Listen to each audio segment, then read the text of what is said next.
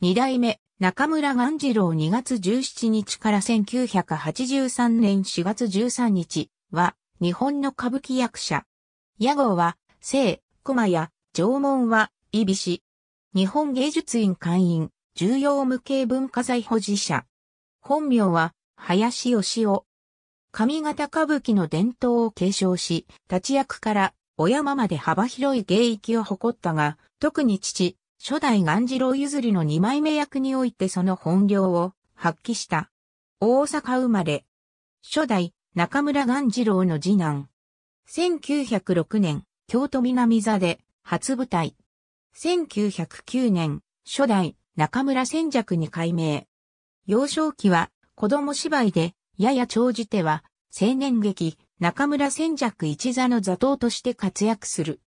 1924年に大歌舞伎に復帰し、以後初代鴈治郎、二代目、実川円尺、十二代目、片岡二左衛門などの下で修行。当時は主にお山を務めた。1935年初代鴈治郎が死去。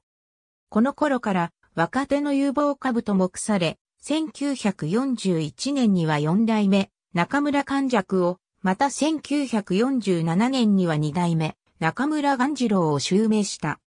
1952年には、宇野忍の脚本により、近松門左衛門の曽根崎新中を復活上演、以後生涯の当たり役となった。しかしこの頃になると、上方歌舞伎の凋落が著しく、鴈治郎自身も周囲の期待の重圧に自身の芸が伸び悩む。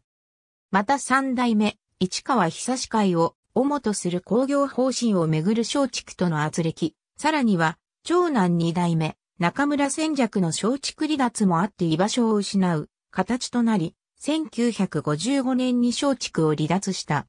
大名跡である、鴈治郎、千尺親子の松竹離脱は、混乱と凋落の真っ只中にあった、当時の上方歌舞伎にさらなる追い打ちをかけることになった。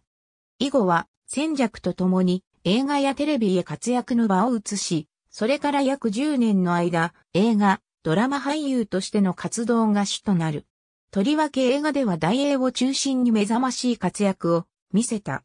当時の主な出演作には、炎上、鍵、浮草、小早川家の秋、どん底、癌の寺などが挙げられる。映画出演の傍ら、1958年からは13代目、片岡二左衛門らと共に、歌舞伎の自主公演、七人の会にも出演したが、歌舞伎公演が激減していた当時の上方にはもはや活躍の場はないも同然で、上方を離れ東京歌舞伎と一座することが多くなる。その間に映画出演などで芸の力がついたことでようやくスランプを脱すると上方和ごとの真髄ともいう芸を見せて高く評価された。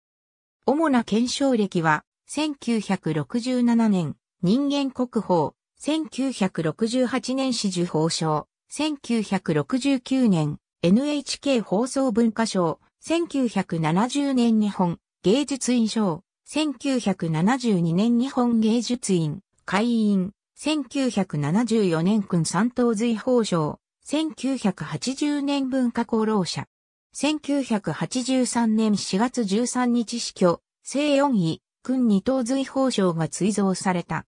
岐阜に落語家の笑福亭演歌、兄に二代目、林又一郎、妹に、長谷川和夫に化した林民、四代目、中村富十郎に化した女優の中村よし子など、長男は四代目、坂田東十郎、長女は女優の中村玉緒、娘婿は俳優の勝慎太郎、老いは林敏夫、俳優の林重俊、妹は俳優の長谷川敏子、大井は俳優の林与一。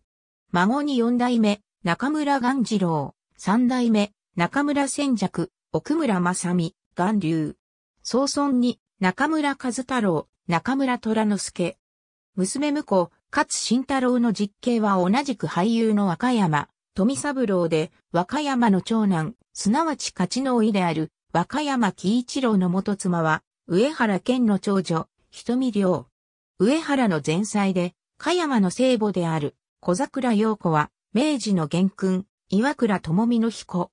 小桜のおばは頼人親王妃近子であるため、林家は奥村や池畑や岩倉や東伏見家、国家を通し、一時期天皇家の宴席となった。立役、お山、敵役、府家役とあらゆる役士をこなしたが、本領は父、初代、岩次郎譲りの二枚目と二代目、円尺の影響を受けた、つっころばしなどの髪型はごとにある。髪型歌舞伎の伝統にのっとって、型を意識しない写実的な芸風が特徴で、見ごなしや風情に独特の艶のある役者だった。歌舞伎以外にも、松竹新喜劇のわてらの年輪で、花柳翔太郎と共演するなど幅広く活躍した。立役を山敵役道外役、脇役新作歌舞伎舞踊劇、中村岩次郎の門、一子最後まで若々しい芸を見せ、曽根崎新中で舞台を共にした長男、二代目戦弱が人気を集めると、曽根見ますがな、と、ライバル意識を剥き出しにしていた。庶民的な気さくな面を持ちパチンコや競馬が好きで、人間国宝に認定されると、国宝なったら、競馬したらあかんのかと本気で心配した。また、当時古軍奮闘していた三代目、市川猿之助を可愛がり、彼の一座によく参加するといった義教心も合わせ持つ人物だった。昇進なところがあり、戦時中空襲警報が発令されると真っ先に自宅の防空壕に駆け込んでいた。終戦直後はヒロポンを常習したこともある。セリフ覚えは悪かったものの、新作や新しい役柄には進んで挑戦する精神に富んでいた。セリフがうろ覚えでも、本番では観客に悟られることなく、役を務めることができる特技を持っていた。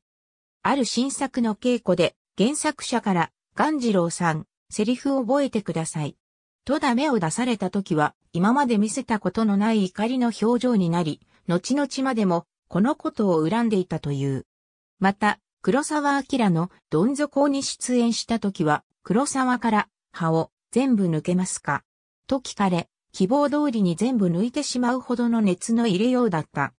また、芋瀬山府女帝金、金殿の深七を務めた時、周囲は、荒ごとの深七を和ごとの岩次郎ができるのか、いかにも人が違いすぎはしないかと案じた。しかし岩次郎は二代目、尾上小六から役の証拠を教えてもらい、自身なりの深七を見事に務め上げて、賞賛を浴びた。これには、お見和役で舞台を共にした六代目、中村歌右衛門が以前から、聖、駒屋の深七はすごいわよとその芸力を認め強く推薦していたからだった。晩年は病魔に悩まされながら舞台を務めた。最後の舞台は1982年京都、南坂お店の新興村の中兵衛で、息子の戦弱の梅川、友人で公的種でもある13代目、二左衛門の孫右衛門との共演であった。岩次郎の死後、二左衛門はその千秋楽の日、最後の告別の場面で、聖駒屋が、いつまでも私の手を離さへんのです。と考えを込めて証言した。10代の頃は少年雑誌に林春虎のペンネームで投稿を行っていた。ありがとうございます。